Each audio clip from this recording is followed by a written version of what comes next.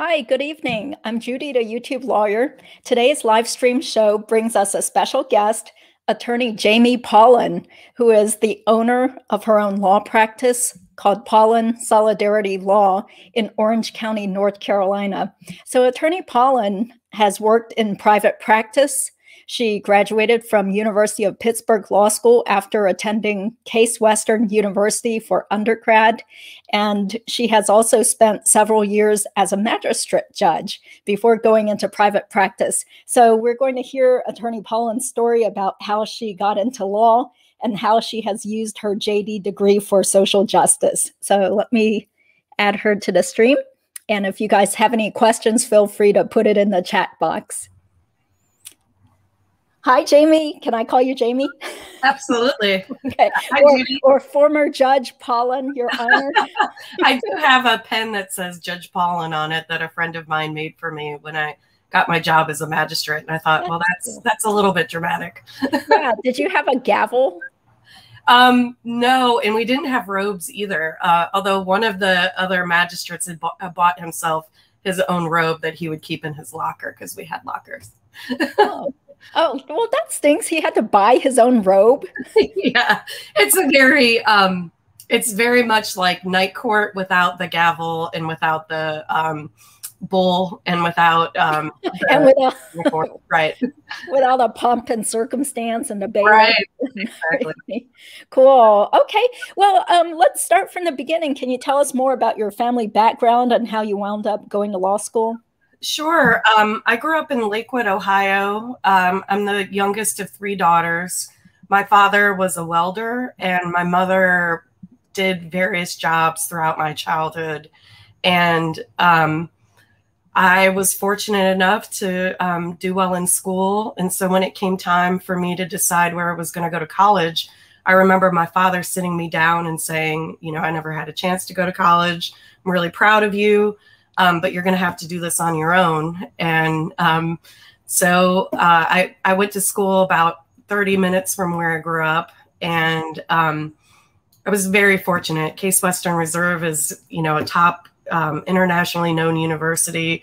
And I knew, you know, I got to meet people who did all kinds of different things, like a um, somebody upstairs from me was 16 and already like a junior when he got to college. Mm-hmm. And it was just that kind of a school with a lot of really, really talented people, um, but a very, very diverse international population.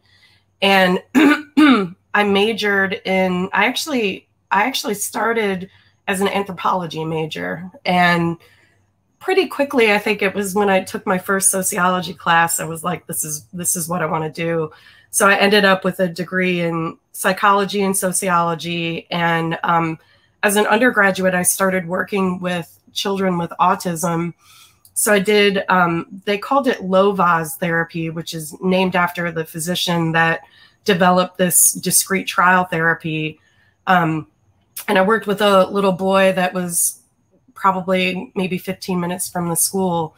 And so when I graduated, I worked more intensely is what was called a therapeutic staff support in Pittsburgh. Um, and after about a year of making $12 an hour, I thought, you know, I'm never going to pay back these private student loans with this.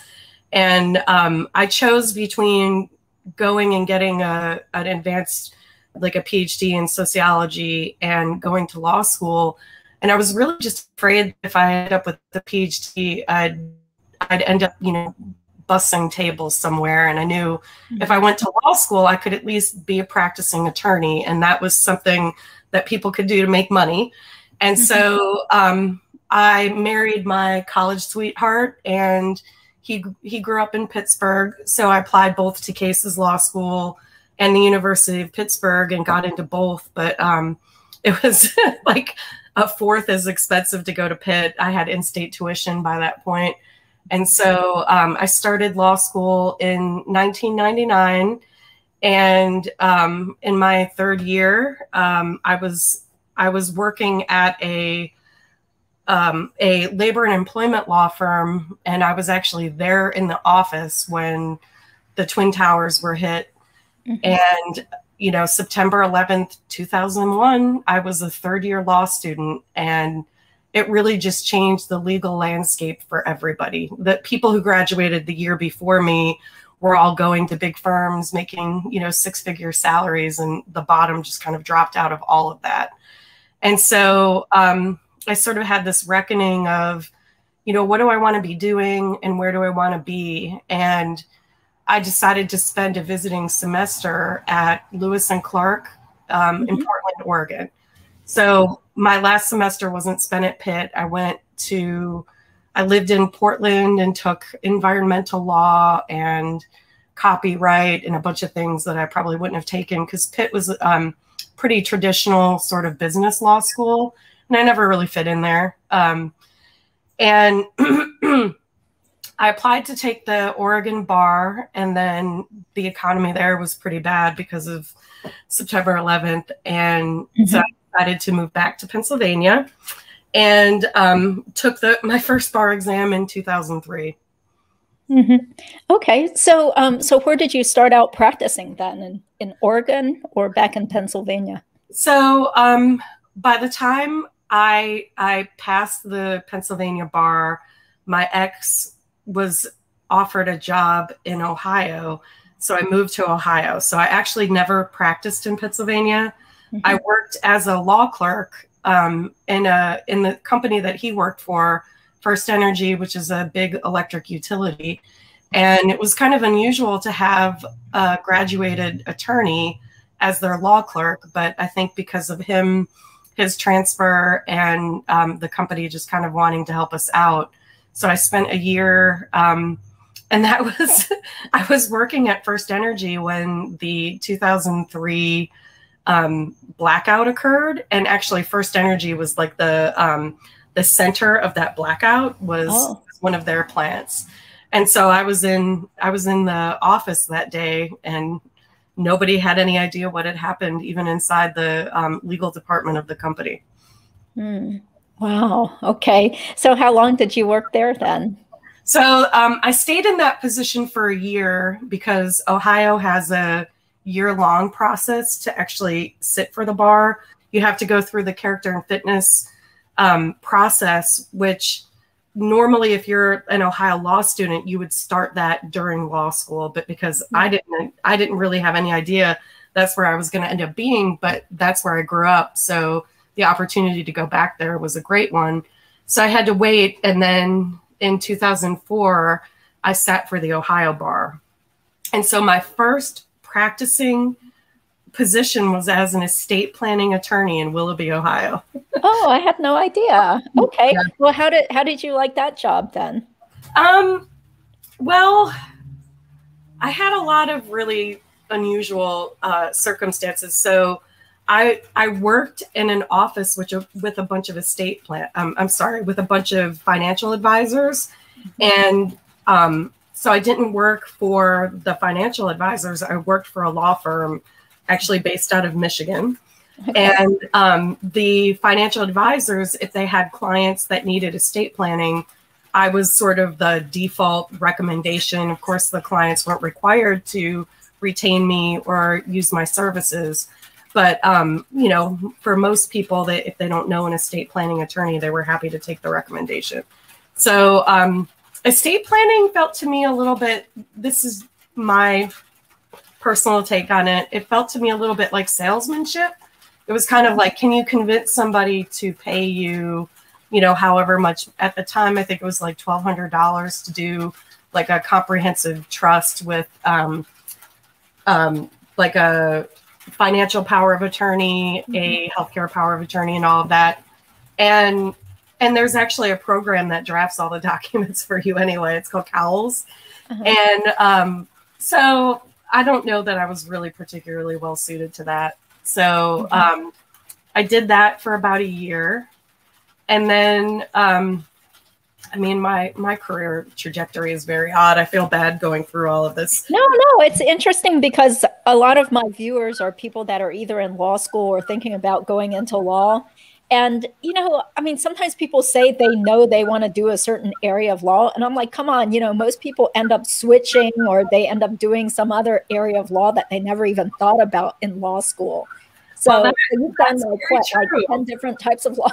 so when I was in law school, I kind of skipped the um, after. Well, while I was in my second semester of my first year, my constitutional law professor approached me and asked me to be his research assistant.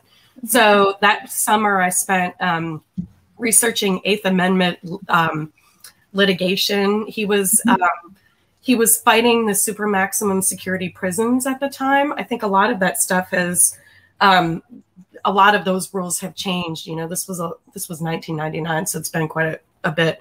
But um, so I really thought like that was what I was going to do. I thought I was going to be like a civil rights attorney, and I was going to litigate these 1983 cases. And um, you know, when I when I graduated, just because of the changing dynamics, what was happening politically in the country, um, what was happening economically in the country. Uh, and then the other thing is when you graduate from law school, you don't know anything. Like, why would mm-hmm. they tell you hire me when I all I had done was take like federal jurisdiction?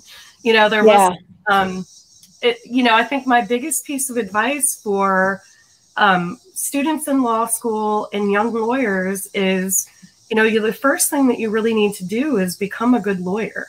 And and it doesn't really for me, it, it personally, it didn't really matter what I was practicing so much It's just learning, you know, basic skills like how do you draft a demand letter? What do you put in a demand letter? How do you work with clients? I mean, I don't know about you, Judy, but I think the hardest thing about being a practicing attorney is, you know, managing expectations of your clients. Yeah. Um, yeah, like how to walk that fine line between wanting to advocate for somebody versus, you know, maintaining your objectivity and not getting too emotionally wound up with your clients and their personal problems and becoming like their friend, you know. Yeah. I mean, they should have a class about that, you know, because I had to learn as I went along, you know. It would be really great. And I definitely have a weakness of becoming friends with pretty much all of my clients. So, um, I, I'm not the best person to give advice on that topic, but when I think about you know, being, you know, I'm 44 and I've been a lawyer for quite a long time. And, you know, I really feel like it's just now that I'm hitting my stride. And that, and that being, you know, that doing the work of, of justice is really not necessarily litigating the Constitution, but sometimes it's, you know, helping somebody get their charges expunged or making sure that somebody has a place to live in a week. Um, you know, it's not not everything that matters is based on the Constitution. I think sometimes it's really just about making sure that the people that you know are able to live, um, you know, a, a decent life. Yeah. Yeah, like having suitable housing or being treated right by their landlord. Yeah, it could just be, you know, helping individuals. It's not going to be like going to the US Supreme Court and arguing some constitutional issue, you know. Of course, that's yeah. what I what I pictured was, you know, wearing, you know, almost like wearing a wig and that kind of thing. Yeah. And Pounding a gavel. Yeah. hear ye, hear ye. Oh yes, oh yes. But um so so let's do it chronologically again. So so now we've taken you to the point where you were doing estate planning and then you did then what did you do after the estate so planning? For a while after that I did um, some document review. You know, that mm -hmm. was kind of a when document review projects were um, new and and that was sort of the um, the thing to do.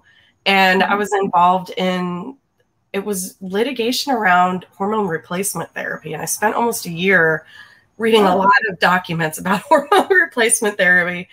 And so after after that, I got a job working for a company that um, did lobbying compliance work, and so worked with lobbyists to get all of their um, documentation because if you're lobbying let's say you're in minneapolis and you're lobbying you know the um, general assembly there you might have uh, documents you have to file with the city of minneapolis. You might have documents you need to file with the state of minnesota um, the county hennepin county and um, maybe even you know if you're lobbying any um, federal legislative legislators, you might also have uh, national compliance work. So um, I did that, and there was a publication that basically that this woman she run, ran the company, and it had all of the lobbying um, statutes, um, local rules of just about every jurisdiction in the country. And so um, I did that, worked in a little cubicle doing that. And um, it was a it was one of the most miserable miserable days ever. Miserable. Okay. It was, it was awful. It wasn't even the job, it was the person who ran the company. She was mm-hmm. she was mm-hmm. pretty nuts. So um from there I went to I worked for a real estate company. I went and did landlord tenant litigation for a real estate investment company that owned and operated shopping centers throughout the United States. And I was basically like a legal assistant. I wasn't working there as an attorney. Um, and so I learned a whole bunch about um, landlord tenant litigation and how, because it wasn't, it was, I was still in Ohio, but um, the company owned and operated shopping centers in like 48 states. And so part of my uh, territory just happened to be North Carolina. Mm-hmm. And um, I had outside counsel that I worked with here in North Carolina, um, a firm based in, well, I don't know if it's actually based in Greensboro. It's now, um, I can't remember the national name, but at the time it was Smith Moore Leatherwood. Mm-hmm. And when my ex, uh, I had a child, and my ex was uh, at that point a nuclear reactor operator and was looking to um, do something a little bit different and applied for a job in Raleigh. And I had a baby and I had a job I really enjoyed. And I was living, you know, where I'd grown up. And it was a really hard decision to move down here. But, um, you know, Ohio winters get a little bit old. So, um, in 2009 we moved to we ended up moving to durham oh and okay I, and I worked in Greensboro and he worked in Raleigh. Wow. So did you have to take the North Carolina bar exam? I sure did. Oh, how was that like? Did you do BARBRI? I so I never actually that time I might have done BARBRI. When I when I took um the first time I took the bar in Pennsylvania, I did a program called Micromash. Yeah. And it was I, I think did you do that too? Yeah, for California, and then I failed it. micromash, I'm like down on micromash. BARBRI is the way to go. But they didn't offer BARBRI for the California bar exam that time of year when I was living in DC. So that's why I did micromash. But nah, I would tell. Well, micromash doesn't even exist anymore anyway. I think they were bought by like BARBRI. or or maybe they were bought by BARBRI. I'm not mm, sure. Yeah, I think they changed their names, but then even that company disappeared. Yeah, but that's fine because you know people just have to go with the tried and true. Just stick with BARBRI, pay that extra couple thousand or whatever it costs. Yeah, but Micromash worked for you, huh? It sure did. Um, did, I don't know if at the time when you took it, did they give you a disc with all the um, MBE questions on it? Uh, I can't remember because this was like 2000. so, yeah, it's been about that long for me, but yeah, CD-ROM that had thousands and thousands of MBE questions on it. Okay. So, um, when I so I I don't know Pennsylvania didn't give the scores, but in Ohio I did I did really well in the MBE. I did very poorly on the the um, the written portion, but mm-hmm. I managed to pass. Yeah, you passed. You got your degree. And North Carolina was the hardest one I took for sure. Oh, wow. So, um, did you already have a job lined up with Smith Moore? I mean, that's a very prestigious law firm, right? Yeah, I was really fortunate that um, just because they were outside counsel for this company and I already knew the landlord tenant work, um, and they had somebody who was actually doing the um, appearing in court that resigned right when I was getting ready to move down here.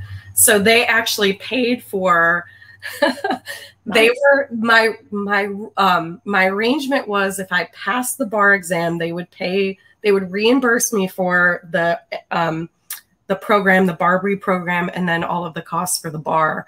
And so everything was like riding on me passing it because it was like five grand. It was a lot of money yeah. to North Carolina bar. Yeah. And so, and I had a, um, my daughter j- had just turned one when I took it. So oh, that's tough. It was, it was, a lot of stress, but um, I really hope that I never have to take another bar. oh yeah, definitely. Well, I mean, what was it like working for this bigger law firm then? Did you have billable hours and have to be in the office all the time? So, um, no, I, uh, because I had a very specific area of practice. Um, I worked for, I worked in the litigation group, but I specifically did landlord tenant litigation and I mostly worked for the client that I had worked in house for in Ohio. Um, although I did do some representation of other commercial landlords. And um, so I just worked when there was work. I had I had an office. I got to come and go as I pleased. It was very yeah. different than the associate um, track. And um, so this was 2010 to 2012. And eventually um, in 2000, 2012 i got laid off because the economy got better. So oh. uh, it was one of those like this is great news except for you. Um, so but when i worked there i did have the opportunity um, one recommendation that i'd make for any young attorney is to find a really good mentor. And um, i had the opportunity to work with an attorney named um, pat ramsor who's uh, a fantastic labor employment litigator, and just, gosh, just a wonderful, wonderful person.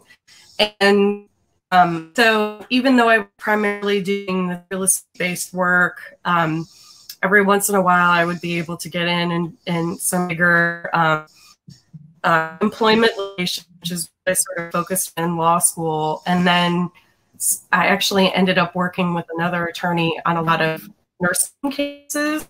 And so one of the cool things about working for a firm that big is that there are always like John Edwards was being tried. They were representing John Edwards in his um, criminal federal criminal case when I worked there. So every once in a while I'd ride up on the elevator with John Edwards. You know, you oh. know what kind of experience you might have. Mm-hmm. Oh, interesting. Okay. Well, were you worried after you got laid off from that firm, you know, about finding another job? Definitely. Um, I was. And then I had um, some personal issues. My father passed away a few months after. And so, in sort of in the global sense for me, I think it was maybe a blessing that it happened when it did and then, so for about a year, I didn't work at all. And then um, during that time, I had another baby. And then immediately when I had an infant, I went back to working and uh, I did more landlord tenant litigation. But this time I was working for residential landlords. Mm-hmm. And that was, I worked for a small firm, RTP, and the I worked for was great. It was a great working environment. I just kind of got come and go I wanted, but it certainly wasn't the kind of work I wanted to be doing. And but one of the great things about small claims work is that it's not like like general big um, litigation in like federal court or even district or superior court where every issue has sort of been narrowed down and you pretty much know what every witness is going to say you've probably deposed them you've had discovery, like when you go into small claims court, you literally have no idea what the other person is going to say. You don't know if they're going to show up. You don't know if they do show up. Let's say um, I can remember appearing in Rowan County and I showed up and this um, tenant started talking about rats like running through his apartment. And of course, the client gave no um, although the client, the landlord knew that this issue had been brought up before, I had no notice of this issue. And so suddenly I'm, you know, in front of a, a, a magistrate judge with a, um, a very displeased tenant on the other side, trying to somehow explain how they should be evicted, even though they had rats running through their apartment. And so um, it's certainly the kind of work that, that makes you, you have to be pretty quick yeah. I'm just wondering, like, is there was some like real crackling or or tapping noises coming from um, I have a tin roof I have a tin roof and it's raining. Oh, okay. Wow. Okay. It was really loud. I was like, is someone typing around there or something? Yeah. And also the connection seems to be a little slow. So sometimes you're a little laggy and fuzzy looking on my screen now, but I I'm guess sorry. that's what happens when it's raining hard, huh? Okay. That's right. Okay. Well, um, why don't we skip ahead and uh, so so then how did you wind up becoming a magistrate judge then? So that was uh, that was actually the next step when I I was representing residential landlords and I appeared in Orange County where I was living at the time and the magistrate who was um, hearing my case afterwards said, "Hey, we're looking for an, a magistrate. Would you like to do this?" And, and I was like, "Huh, what is like?" And he was like, "Oh, this is a great job. Um, you get to hear small claims cases, and you know, you work shifts. You're off to the time." So um, she might have slightly misled me about how desirable the job was, but um, really the primary responsibility of a magistrate is criminal cases. So Orange County would work. Um, I'm sorry, it's probably so loud, isn't it? Is it too loud? Yeah, yeah, I can hear a lot of like wrestling noise and something, but I mean, at least we can still hear you, so you can continue then. All right. Um, perfect time. So, um, so I applied. The position is you apply to the court, who then sends the man to the resident superior court judge, who at the time here in Orange County was Carl Fox. And I had an interview and was appointed a couple of weeks later. Okay, yeah, this person is saying maybe if you switched over to a phone, then maybe it would improve help? bandwidth issue. Is I there don't- any other option? Yeah, no, I mean, well, right now you look fine, but for a while there you were looking really fuzzy and kind of slow, and you know your screen was freezing up a little. Yeah, but we'll we'll just go on ahead.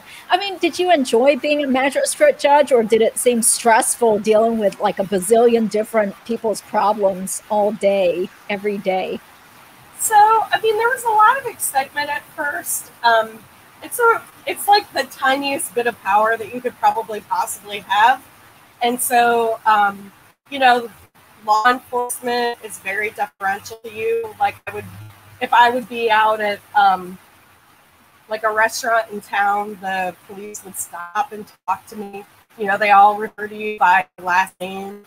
I had to Magistrate Paulen, it's so good to see you. And so um, I think there was a bit of there was a bit of excitement first, and then and the seriousness of what you're doing really, or for me, really sort of weighed on me was that it's really the job to make sure that the state has probable cause for anything that they do. And the police really don't like it you say, you probably shouldn't have arrested that person.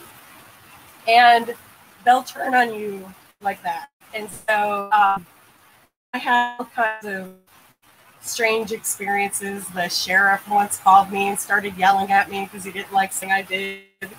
Um, it's no matter what what you do, somebody's unhappy, and you really are responsible for making sure that people's rights are really protected. So it's a really important job, and you're also frequently doing it at like two thirty in the morning rather sleep. So. Um, Oh, what It did you say? You you said you, sometimes you had to work in the at two thirty in the morning. Oh yeah, so magistrates on duty 24 hours a day, seven days a week, and probably um, of the hundred counties in North Carolina, there may be a handful where there isn't a magistrate on duty every day. Um, but a person cannot be arrested and taken to jail without seeing a judicial official. So um, the, it was a 24 hour shift job and there's a bed in the magistrate's office. And um, if you're lucky and it was raining like this, you might be able to sleep tonight. But um, you know, you be woke up, wake up at like 3:30 in the morning and have to process somebody's WI. Wow, that sounds It's really tough. Yeah. So Very, how were you how were you able to juggle this while also having young children? Um, I not do a good job. I was um, probably the biggest problem for me. You know, I, I, like to sleep, and my um, I just it, it just will make you very grouchy to have people waking you up all night long, and it really just was not a good fit for me. I I so appreciate the work that most of my colleagues are still here doing that work and it's such an important job and I greatly appreciate all that they do, but I will tell you it will make even the friendliest person very, very unhappy to be woke up, you know, five, six times a night. Um, and so magistrates do involuntary commitments, uh, small claims, um, arrest warrants, and then search warrants. And those things, law enforcement might need to go and search somebody's house, you know, on a Sunday at 5 a.m. and somebody needs to be there to do it. So um, it's it's definitely a very difficult job. But I don't. I certainly have never had a job where I learned as much as I did being a magistrate. Yeah, yeah, that sounds like a really tough job, and it, it, I'm sure it didn't pay as well as working for a nice law firm either, right? No, but state benefits, and I worked six days a month. I mean, but the thing they don't tell you is that the two days after you work, you might as well, you know, you're just going to sleep all day. So it uh-huh. was it was very difficult. Um, just not physically, it's a very demanding thing to do to have to be up like that. Yeah, that sounds almost like medical residency, except you don't have a nice high paying job waiting for you at the end of the tunnel. Yeah. No, I think it was like it was like you got paid like forty five thousand dollars a year or something. I mean, it wasn't very much money, but it was it was an opportunity to learn to know. I mean, really know all of the judges in your county, to know all of the um, district attorneys, to know all of the public defenders, um, most of the criminal practitioners in town, and frankly, a lot of even civil practitioners, because anybody could end up in small claims court, even if they're primarily a federal litigator, they might have a client that has some small matter. And so um, it was certainly an opportunity to to know the judicial system in a way that you just wouldn't know it if you hadn't had that position. Yeah, I see. And so, um, yeah, so the topic for the show was also for you to address more like how you use your law degree to try to get social justice because you always hear about these like people thinking about going to law school because they're angry about something or, you know, they want to help the oppressed, downtrodden people. Um, but, you know, as you and I found out, you know, there aren't tons of jobs where you can actively always feel like, oh, I'm out there to save the world and I'm going to create justice in the world, me as one attorney, you know. So, I mean, what, what have you done in your career, especially now that you're working for yourself to try to advance social justice and the causes you believe in?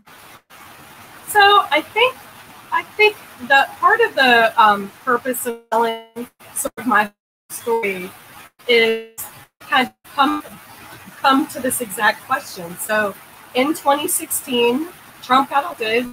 I had two daughters, and I was like, this is not okay.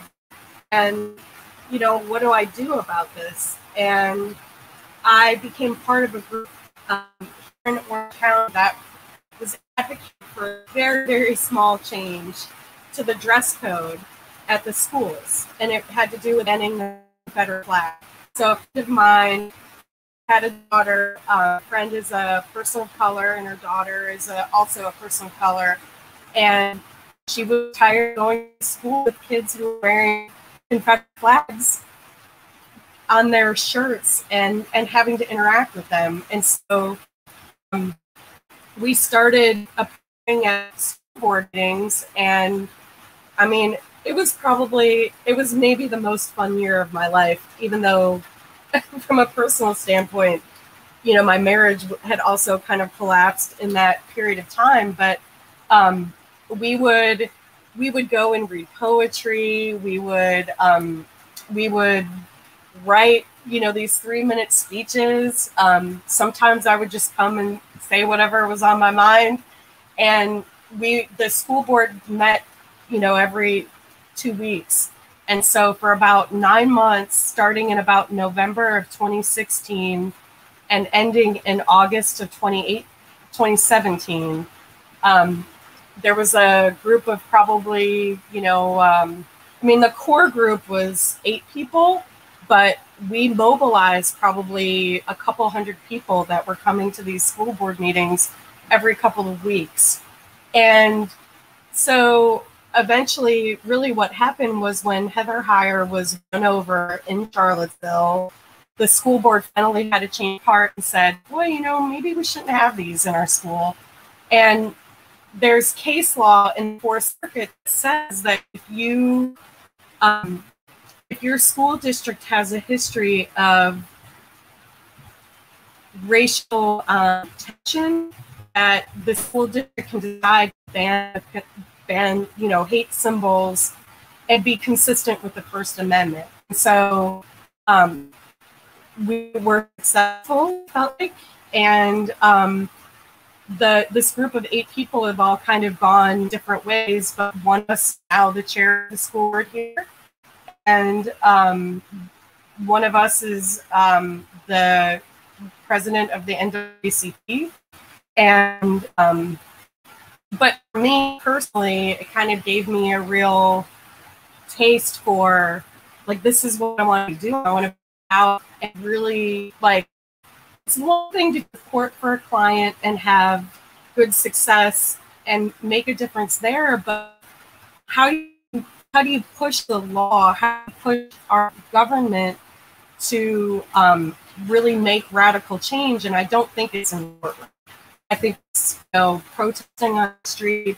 I think it's um, you know showing up at at um, public meetings and so my county commissioner will know me. I recently went and spoke in front of the um, Alamance County School Board about uh, race theory because I was really frustrated that people are throwing around that term and they don't know what it means. Um, uh, and so that's that's what I really enjoy doing. So what happens when you show up in that way, then people find you. So, um, you know, I, I do a lot of organizing around housing issues. Um, I was fortunate enough to be connected with Newsome last year, who um, she sort of, I guess, was raised to the national con- conscious when um, after the um, incident in South Carolina at the um, the AME church, she climbed the um, flagpole in I don't know if it was Charleston maybe and cut down the Confederate flag. And so she lives in Charlotte and does a lot of organizing around housing issues. And we've been able to do a lot of work um, advocating for people to stay housed, especially during the COVID crisis. And uh, you know, so I think finding those topics or the whatever you're passionate about find what that is and start showing up and i think the work will find you well and from an economic standpoint though like doing these kind of social justice causes like does that bring in the bucks you know because yeah i mean I, I feel like there are a lot of young people that are kind of starry-eyed about being lawyers and everything but then a lot of times they find out later they just have to go and do corporate law or desperately try to find jobs working for corporations or big law firms if they want to pay off their law school debt. Did did you have that kind of concern? Because you well, have law school debt, right? I did. I had undergraduate debt and law school debt, um, and so I did. You know, I worked in I've worked in corporate legal departments. I've worked for a big firm. I've worked for small firms. I've um, just done a whole lot of different things but in the end, um, so the way that I manage my practice is I take paying clients. So I've recently um, had a case where these folks had a, a neighbor trying to put up a fence in their neighborhood that um, was not in compliance with their HOA regulations. And so those folks can pay, you know, hourly rate, and then I'm able to offset that with the um, the other kinds of work that I do. I'm reading the comments too, by the way. Okay, great. Yeah, Buffy McMuffin, I don't think that's her real name. She is a retired attorney in California. So she says, yes, starry eyed in terms of like would be law students. Starry eyed is a great term, the hope and the reality. yeah, like what people think they're going to do after they get their JD versus what they really wind up doing after graduating. Yeah. Well, I mean, we just have no idea what that path is going to look like. Um, that something that came up in the Facebook group that you and I belong to that I think is really important, mm-hmm. and maybe the most important thing that I'll say today is that representing um, uh, clients who are unable to pay is not the way that you learn how to be a lawyer. Like you don't you don't take on public interest work for people that cannot pay so that you learn the practice of law because that's not fair to those clients. I think some of the most important things that we do as lawyers are legal work that we do for people that don't have any way to pay a lawyer. And so you really need to have, you really need to go and work with other attorneys. It's not a good idea to graduate and think you're going to hang out your own shingle and yep. start practicing. Mm-hmm. I totally agree. Yeah. Well, what kind of cases are you handling now? And do you want to tell us more about this new case that you filed against the sheriff's department? well, I have, um, you know, I have clients that that call me with various things. You know, their legal needs change, and my clients tend to be people that I know for a long period of time.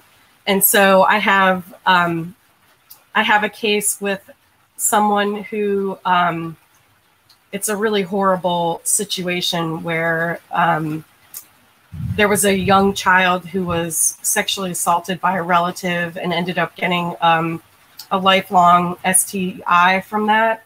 And so we're bringing a tort suit against the perpetrator. Um, have this spike fence case in Wake County, which is what, what's something. That?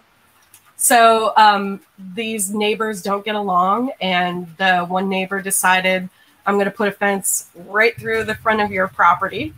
And um, so I filed a motion for a preliminary injunction and had that heard actually while I was out away last week.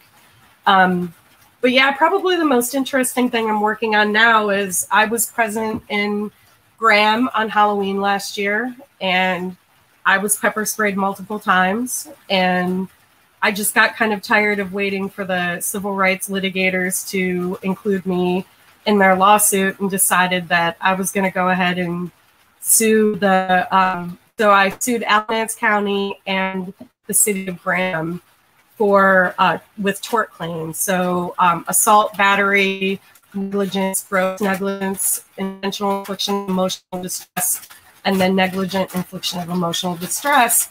And I uh, styled it as a class action. So I'm a name party the idea is to cover anybody who was in attendance at that event that was harmed by either law enforcement agency because there were well over 100 people in attendance that day and everybody was either sprayed directly or saw you know some children get sprayed that's terrible well i mean what what were you protest just to give some background information what were you protesting or peacefully gathering to do and then what exactly happened to you at so the, the law enforcement.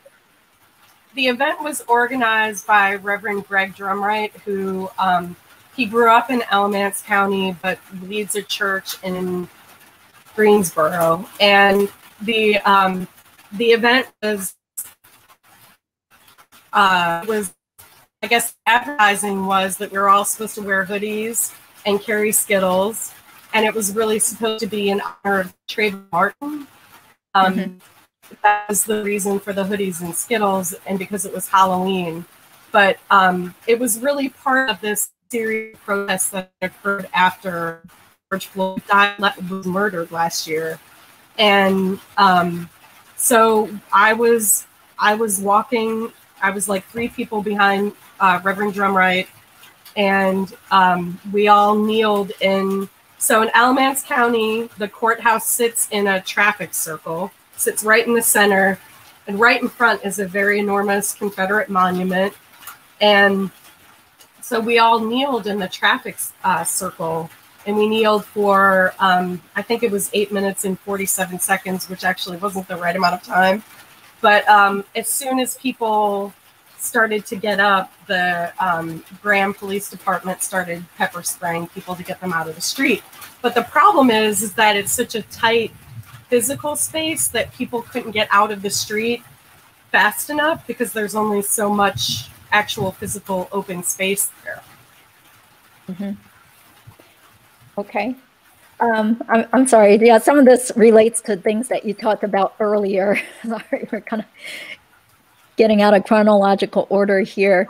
Yeah, but um, well, I did notice in one of the news articles it said that you filed your lawsuit in Orange County instead of Alamance. But um, are you concerned that they might try to move the case to Alamance because the stuff happened in Alamance? It did, um, but the venue statute in North Carolina gives the plaintiff the um, choice of where to file the lawsuit, where any plaintiff lives or any defendant. Mm-hmm. And so, um, as the as the person bringing the lawsuit, I have the right to make that decision, and I live here. Yeah. Um, I think that I'm going to get a fair jury in Orange County. I don't think that the same people that elect Terry Johnson are going to be, mm-hmm. you know, able to um, be as impartial so the the I've thought it through, and there's a possibility that they could bring like a forum non conveniens type argument, but Orange County and Alamance County actually used to all be part of. They used to all be Orange County. So Chatham, Alamance, Durham, and I can't remember. Uh, I think another county all were once Orange County, and they all split off. And so I think they'd have a really hard time explaining why they can't, you know, yeah. drive the 20 minutes to to Hillsborough. So yeah, that, that Orange County courthouse might as well be right there. it's on the border with Alamance County exactly. Anyway. That's not inconvenient at all. No. But um, so have you been contacted by other people who were pepper sprayed by the police? You know, I mean, Absolutely. I'm sure you knew some of the protesters already, right? I know. I know probably yeah, I know a lot of them, but there were there were people. I mean, there was an attorney that came.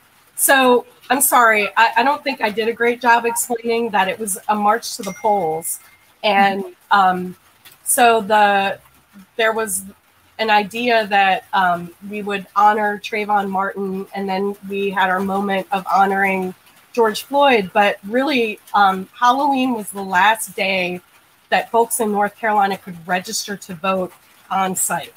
So um, we were supposed to be wa- walking from an AME church to the court square, and then we were going to end at the um, the polling location. So attorneys came from Seattle and Minneapolis and Miami to be poll workers and support this event, and those folks got pepper sprayed. So there were definitely people there that that had never been to Graham before and probably hopefully will never go back. But mm-hmm. um, I've had probably at this point maybe a couple dozen people that I didn't know contact me, and of course I do know quite a few of the people that were there as well. Mm-hmm. I see. And did you suffer any sort of like long lasting, you know, like eye pain or you know PTSD?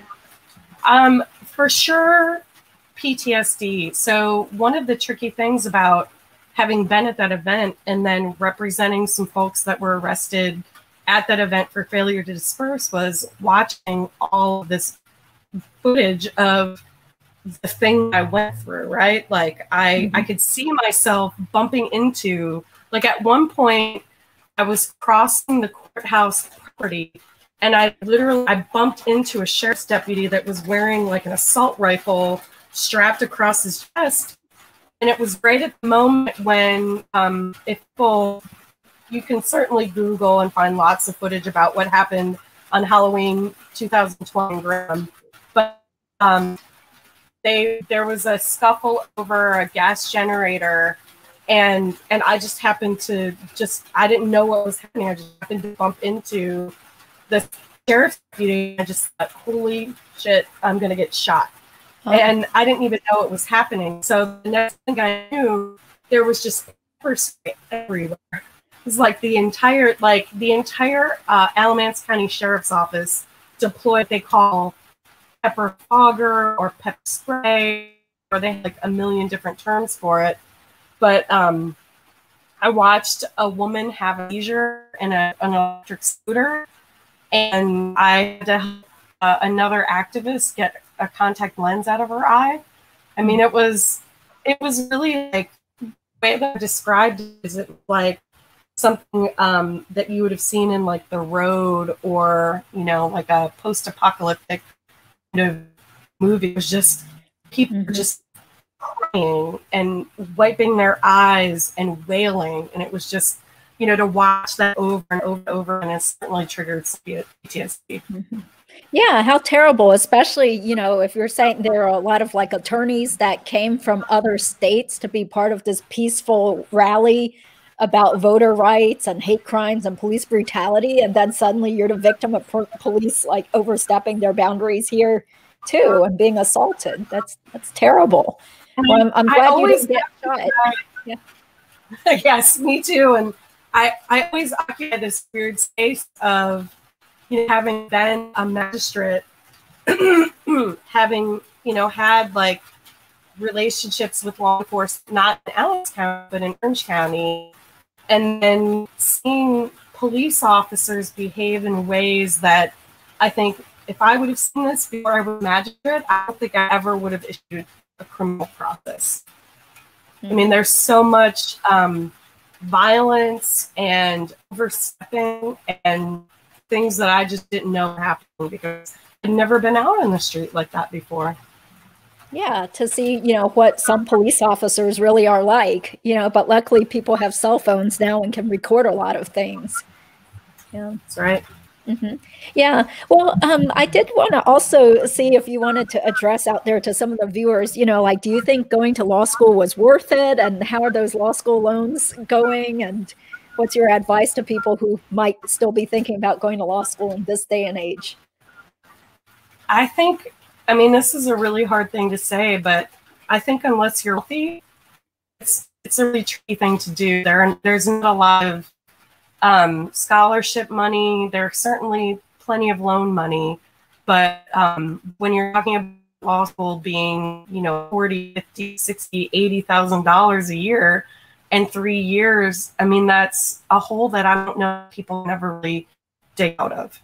And that if you, and, and there are people that are, you know, go through that and then looking at jobs, being public defenders that make know, maybe forty thousand dollars a year, and it's really hard for me to say that with the current structure in place that it's worth it. But then, um, you know, I just, I loved law school. I just did. Like I I loved reading case law and writing papers. I just I don't know what else I, I would do or what else I would have done. So I think you have to think really hard about what your financial future is going to look like. Mm-hmm. Yeah, but you did you did mention that you got to pay in-state tuition, right, for law school. So was it a little better for you since you got to pay in-state tuition? Correct, and I was married to somebody who had a good job, and so I mean it was like eight thousand dollars a year to go to at the time. Um, so you know that's a whole different a whole different situation than like what 65 70 i mean not everybody's gonna go duke but um it's it's just not easy. It's financially it's a really difficult decision to make and it'll take a long time to dig yourself out of it. Mm-hmm. so you just yeah, have to are, think. Yeah. Are, are you done with your student loans? Oh no. Nope. Nope Mm-hmm. Still paying him? wow. Paying. Oh my god. plan. So, yep. Oh, okay. So, like, would you would you want your kids to go to law school?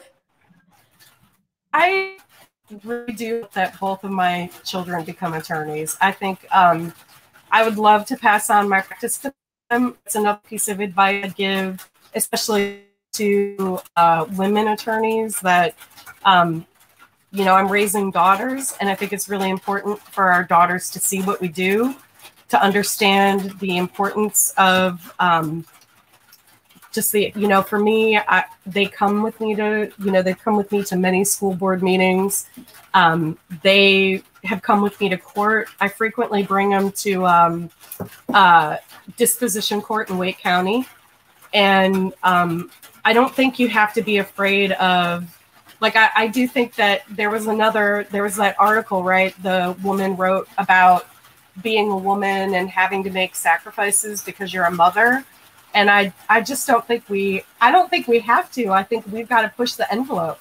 We've got to incorporate our children into our lives in, in ways that older practitioners would probably be uncomfortable with. But mm-hmm. yeah, and that that can help the fathers too, because fathers should be involved in the kids' lives too. It shouldn't all be up to the mom to, you know, handle the kids' stuff, go to the kids' meetings and activities and plan everything. So, so yeah, I mean, for male attorneys also, we need to have some sort of change in the work Absolutely. hours.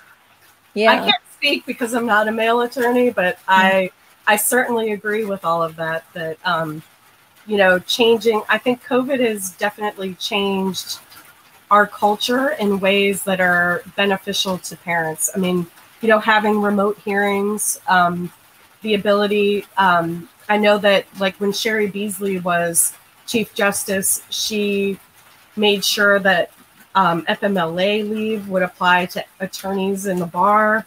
Like, there's just a lot of um, envelope pushing that has happened, I think, within the last couple of years. Mm-hmm. Yeah.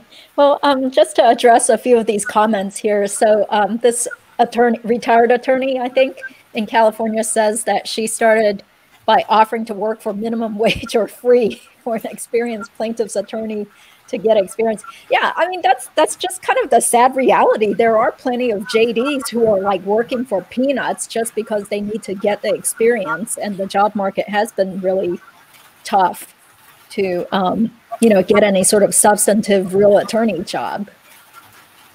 Yeah.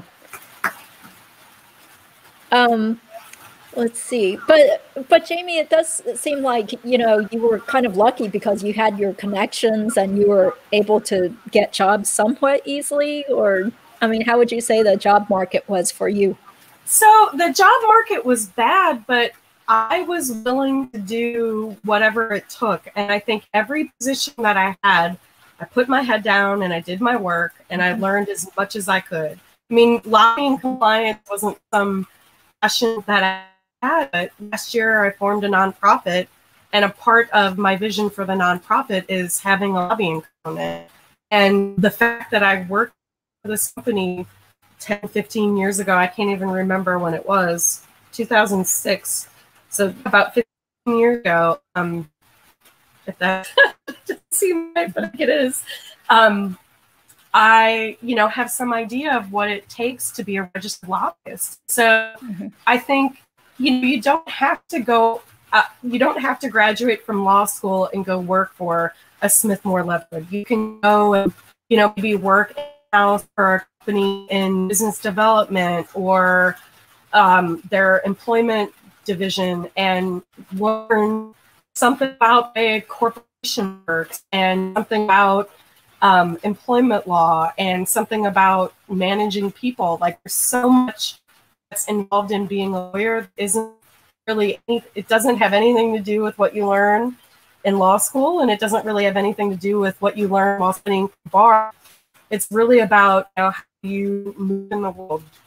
And I think taking opportunities and just doing what you can with it. It just means that as a 20, almost 20 year practicing attorney, that I can do a broad range of things. Like if somebody needs a will drafted, I can still do it. It's, you know, it's the same estate planning it was when I did it 20, almost 20 years ago in Ohio. You know, there's some slight differences in North Carolina.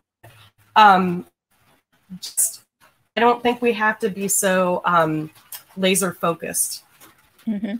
Yeah, yeah, definitely. You know, you can always move to do different kinds of practice areas.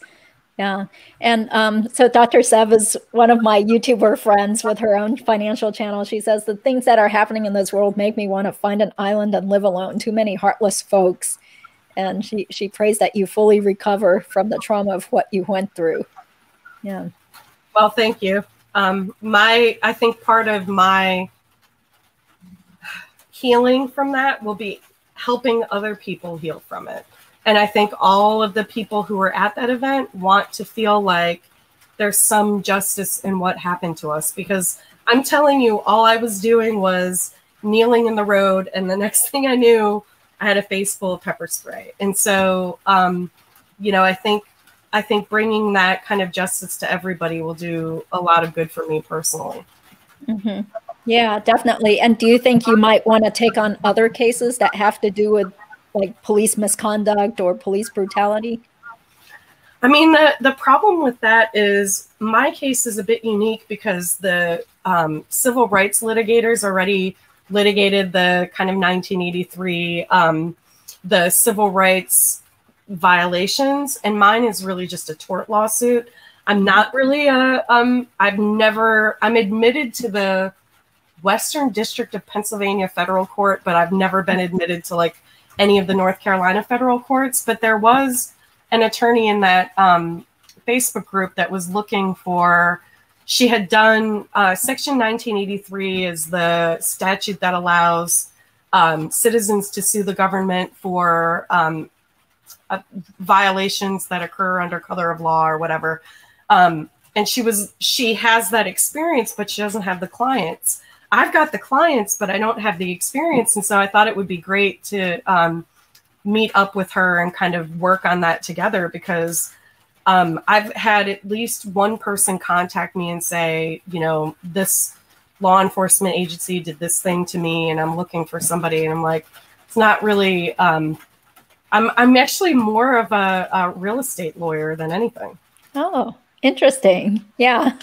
Wow. Well, do you also still do real estate law too, in addition to these other areas?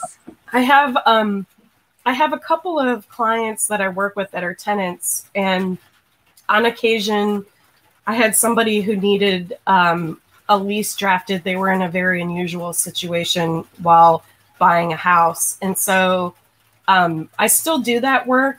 But when people are looking for because the crisis is about to get very bad. It's going to be very bad in North Carolina that a lot of people are going to be displaced. And so I typically direct people to legal aid as the first resource because legal aid has hired a lot of people. Um, their resources are broader, but they do have restrictions. So they have income restrictions that sometimes somebody's in the position that they make too much money to qualify for legal aid, but they don't make enough money to pay their rent um, or you know some kind of unusual situation where maybe um, I know the person or they're connected to a network. But um, so I'd still say most of my practice is really based on real estate litigation. Yeah. Okay. Yeah. So interesting then.